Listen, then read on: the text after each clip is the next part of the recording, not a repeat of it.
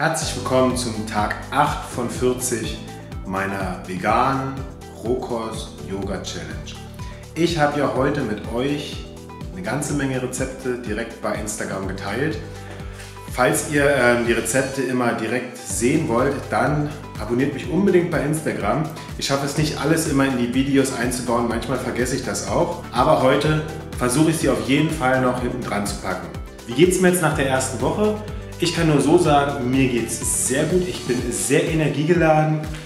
Ich habe sehr viel Freude. Meine Arbeit macht mir Spaß, grundlos sogar. Das heißt, meine ähm, normale Standardarbeit, die ich so zu erledigen habe, wie zum Beispiel Papierkram machen, Steuererklärung und so weiter, das geht mir tatsächlich viel leichter von der Hand.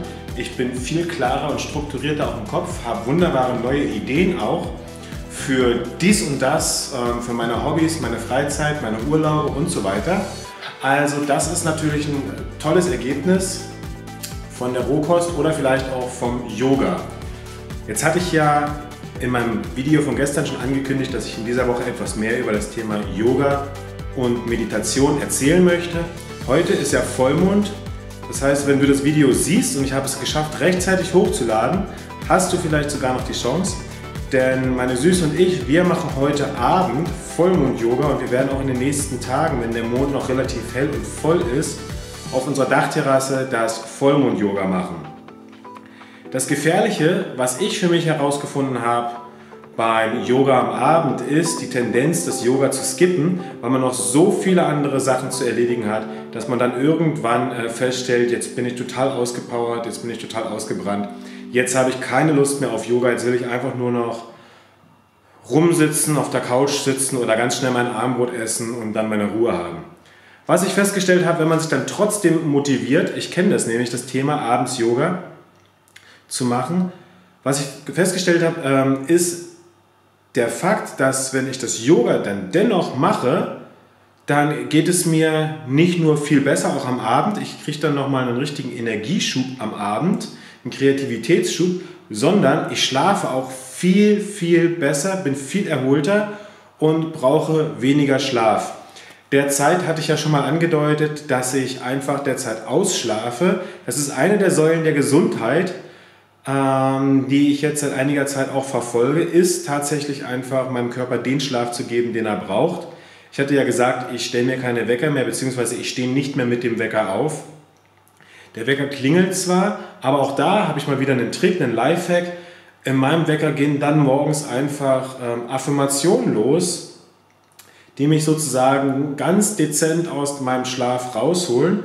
Und die laufen dann auch schon mal eine halbe Stunde. Manchmal schlafe ich auch wieder dabei ein. Das ist eine wunderbare Sache, um zum Beispiel neue Themen in sein Leben zu integrieren, wenn man jetzt morgens die Zeit hat. Wenn du morgens zu einer bestimmten Uhrzeit zum Beispiel aufstehen musst, weil du zum Beispiel einen Termin bei der Arbeit hast, dann kann ich dir empfehlen, einfach zwei Wecker zu stellen. Die Smartphones heute haben ja die Möglichkeit, dass wir da jede MP3 reinladen können, die wir wollen. Dann stellst du dir deinen ersten Wecker und falls du dann wieder einschläfst, stellst du dir einfach später nochmal einen Wecker. Also da musst du mal ein bisschen schauen, wie du das machst, dass du dann auf jeden Fall wach wirst, falls du nach deinen Affirmationen wieder einschläfst. So, zum Yoga nochmal eine kurze Sache. Was macht das Yoga eigentlich mit uns, wenn wir das so regelmäßig machen? Ähm, Yoga ist ja am Anfang ziemlich, mh, mm, ziemlich herausfordernd, was die Muskeln angeht. Wenn man das täglich macht, kann man davon ausgehen, dass die Muskeln sehr wahrscheinlich auch äh, wachsen werden. Jetzt ist es aber so, das sieht man auch bei äh, den Ladies, die tatsächlich sehr, sehr weit fortgeschritten sind im Yoga, wenn die ganz normal entspannt lässig dastehen, sieht man denen das nicht an. Die sehen jetzt also nicht aus wie Hulk. Das heißt, wenn ihr anfangt mit dem Yoga und ihr ernährt euch gesund und ihr habt nicht allzu viel Stress und ihr raucht nicht, also im Prinzip ihr führt ein gesundes Leben, dann werdet ihr eine wunderbare, ähm, einen wunderbaren Körpertonus bekommen. Und man sieht euch das aber nicht an. Ihr seht dann nicht aus wie ähm, ein Pumpernickel aus einem Fitnessstudio. Also ihr werdet dann keine, ähm, wie nennt man das, Amazonen mit Schwimmerkreuz. Da kann ich euch schon mal die Angst nehmen. Ihr werdet mit Sicherheit ein bisschen stabiler. Eure Körperhaltung wird ähm, auf jeden Fall ähm, sich korrigieren. Nach und nach, da Yoga sehr viel auch für die Rückenmuskulatur macht, Aber äh, es wird nicht so sein, dass man euch auf 10 Meter ähm, Entfernung ansieht, dass ihr irgendwelche krassen ähm, Kraftübungen macht. Für die Männer ist es jetzt so, das Yoga, das dient ja dazu, äh, unter anderem auch geschmeidig und flexibel zu sein, nicht nur im Körper, sondern auch im Geist, ja, auch im Emotionalkörper. Für uns Männer ist es so, wenn wir Muskeln aufbauen wollen, ist es sehr wahrscheinlich, dass wir eventuell noch ein paar andere Sportarten integrieren müssen.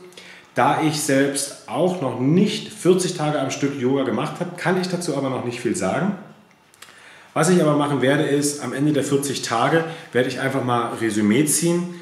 Ähm, vielleicht fange ich jetzt noch mal an, ein kleines Logbuch zu führen, wie viele Minuten ich am Tag tatsächlich dann trainiert habe, beziehungsweise Yoga praktiziert habe. Zum Thema Meditation. Warum ist Meditation tatsächlich so wichtig für uns? In der Meditation lernen wir unseren Energiekörper zu reinigen. Die einfachste Form, unseren Energiekörper zu beschreiben, ist eben das fünfte Element. Wir kennen ja aus der Magie oder auch aus der Alchemie die Elemente Feuer, Wasser, Erde, Luft. Und das fünfte Element, die Quintessenz aus diesen vier Elementen, ist dann eben der Ether oder der Äther oder eben auch der Akasha-Leib oder eben auch, wenn wir es mal übersetzen wollen, der Geistkörper bzw. der Liebeskörper. Geist und Liebe kann man ja ein Gleichheitszeichen dazwischen setzen. Und während wir meditieren, ist es eben ganz wichtig, dass dieser Körper gereinigt wird. Wie dieser Körper genau aufgebaut ist, dafür gibt es verschiedene Modelle, die sich teilweise ähneln, aber auch immer wieder voneinander abweichen. Mit welchen Modellen ich bevorzugt arbeite, das verrate ich jetzt euch im Laufe der Woche. Und vielleicht verrate ich euch auch ähm, Stück für Stück, das ist relativ komplex, welche äh, Meditationswege ich gehe. Denn ich bevorzuge Meditationen, wo ich mit sogenannten Landkarten der Seele arbeite. Das habe ich von Alberto Villoldo gelernt. Das ist ein schamanisches Arbeiten. Da hatte ich vor über zehn Jahren ähm, seine ganzen Bücher sozusagen verschlungen. Und es ist ziemlich hängen geblieben und hat sich immer wieder bewährt.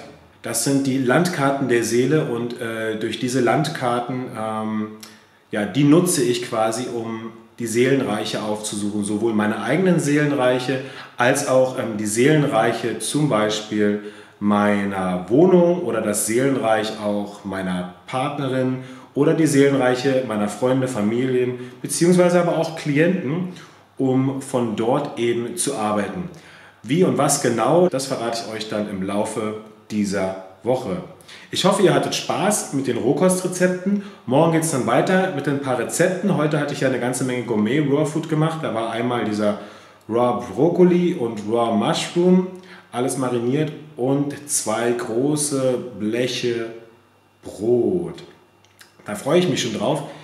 Und ähm, wir sind den ganzen Tag unterwegs, wie gesagt, da freue ich mich schon drauf. Das gibt es dann aber erst nach dem Yoga. Bis später. Tschüss. Ich wünsche euch noch einen schönen Abend und eine schöne Vollmondzeit. Guten Morgen. Heute gibt es mal Juice. Ob es Green Juice ist, weiß ich nicht. Auf jeden Fall, das sind erstmal die Zutaten. Schritt Nummer 1. Wie genau die jetzt verarbeitet werden, das sage ich euch gleich im Schritt.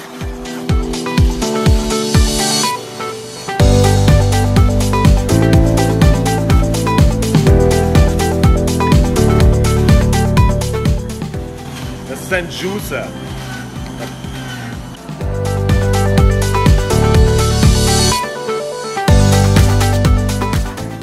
Ist ein bisschen schwierig mit einer Hand. Da kommen jetzt die Möhren, der Sellerie und die Gurke erstmal rein. Die anderen Sachen werden anders verarbeitet. Sellerie und Äpfel werden jetzt auch gejuiced. Und zwar so wie sie sind, da kommen nicht mal die Kerne raus. Hoppala. Nicht ganz so viel, so viel Saft haben wir mittlerweile. Der Sellerie.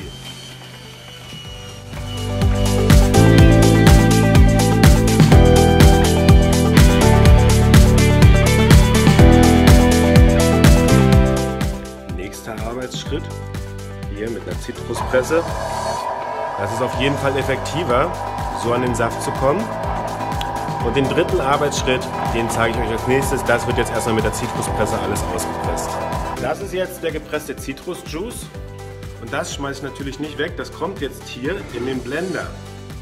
Und zwar mit zwei Händen, deswegen lege ich das wundervolle Sende-Handy jetzt erstmal wieder weg. Rohkost Juice, mittlerweile sind wir bei anderthalb Litern.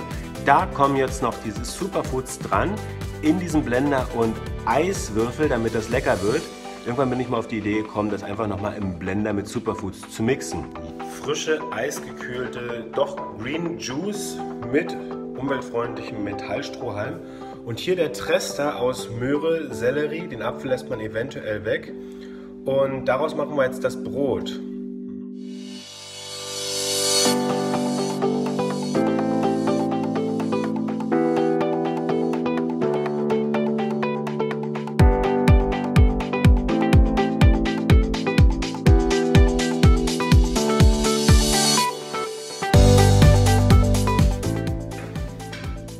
Ist jetzt der erste Pfladen. Der kommt jetzt in den Dehydrator. Wahrscheinlich nur bis heute Abend und dann wird das mein Abendbrot. Und hier aus dem Rest mache ich den zweiten Fladen. Der kommt dann auch in den Dehydrator. Brot im Dehydrator, Petersilien, Hummus ist fertig. Und heute werden wieder Austernpilze, diesmal aber zusammen mit Brokkoli mariniert und zu einem leckeren Abendbrot bzw. für ein morgiges Mittagessen verwandelt. Nächster Arbeitsschritt, die Marinara ist fertig. Erdnuss, Orange, Tamari, Pfeffer, Salz und ein bisschen Essig. Und dann kippt man das rüber, dann rührt man das jetzt gleich um und dann lässt man das so 10, 15, 20, 30 Minuten stehen. Hier jetzt der marinierte Brokkoli auch auf dem nächsten Sheet. Der kommt jetzt auch in den Dehydrator und hier sind jetzt noch die Pilze in der Marinara, die kommen jetzt auch gleich aufs Sheet. Dann, das gibt es heute Abend und morgen und vielleicht sogar immer noch übermorgen. So sieht es dann aus, wenn ein Pilz mariniert ist. Austernpilze in der Marinara. Vorhin hatte ich ja schon kurz das Rezept erwähnt. Und die restliche Marinara, ja, da kommen jetzt gleich die nächsten Pilze rein. Mehr hat vorher nicht reingepasst, um weiter zu marinieren. Unser Backofen, unser Dehydrator, Brokkoli, Brote, Pilze. Jetzt wird erstmal wirklich richtig gearbeitet und später geht es dann noch zum Strand, beziehungsweise wird jetzt gleich am Strand gearbeitet. Bis später.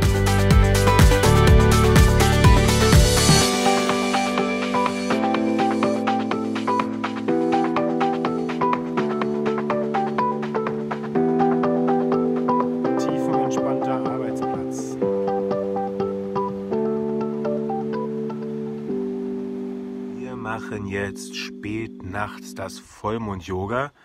Wer noch mitmachen will, Yogamatte rausgeholt, Gardinen aufgezogen bzw. ab in den Garten und dann geht's los. Yoga Ahoi.